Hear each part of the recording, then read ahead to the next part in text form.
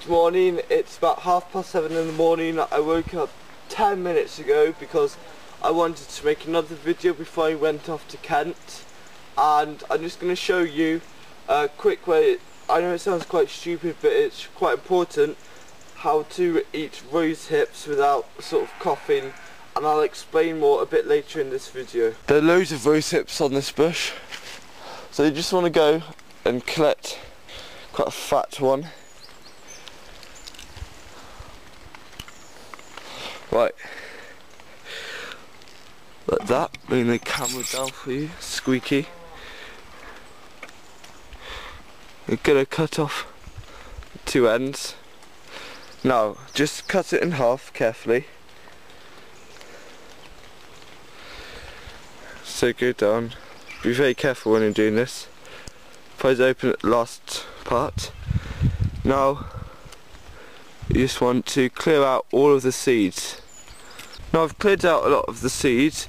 You'll be noticing, you can't see it with my camera. Maybe wait, zoom in. There. You'll be able to see some little tiny white hairs. Now they're basically like, uh, what do you call it? It's like a chewing on glass fibres because they they're really sharp and they splinter so it's really important you get every single one out so just go along then with your thumb and your knife scraping all of them out.